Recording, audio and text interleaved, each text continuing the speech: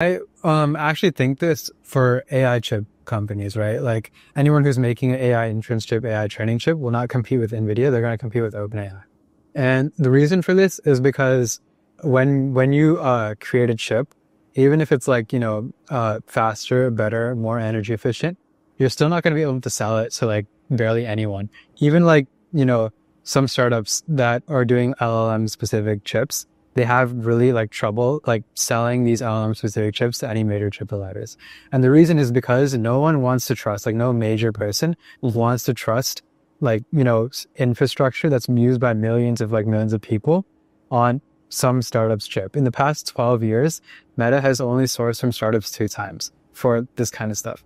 So what, what this means is that like most companies in this area, what they end up doing is they end up launching an API around their hardware. So uh, and what you do, like if you if you have a API around your hardware, then you're competing with other people who have you know AI, like uh, AI model APIs like uh, Anthropic, OpenAI, and your differentiator is now Groq's differentiator, which is supposedly better hardware, right? So, uh, can you really compete? Like even if you had like you know 10x hardware, and that that would mean that your developer experience is really good, but can you compete with OpenAI's distribution?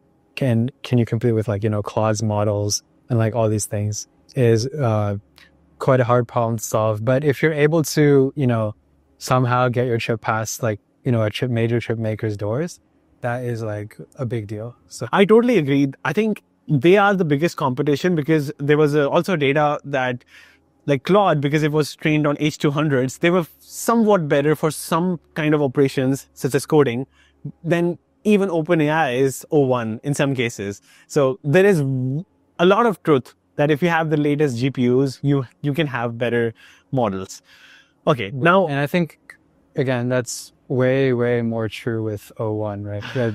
because if you look at like uh, and everyone is saying this, which is now like it's now inference scaling because they've reduced like the reasoning thing to like if you look at a graph, it used to be like this much training and then like this much is like inference compute. And now you move all of that to before. And now the inference market, literally you have like a 10x because everyone now wants to make an inference chip. So